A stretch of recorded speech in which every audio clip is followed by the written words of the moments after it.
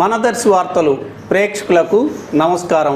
వార్తలు సమర్పిస్తున్నది మీ రామస్వామి. దర్శి మండల ZPTC ZP chairperson Srimathi Buchepalli Venkayamma ఒంగోలులో గాయత్రి సూపర్ స్పెషాలిటీ హాస్పిటల్ను మంత్రివర్యులు బాలినేని శ్రీనివాసరెడ్డి ప్రారంభించగా మంత్రివర్యులతో కలిసి జడ్పీ చైర్పర్సన్ పాల్గొనటం జరిగింది.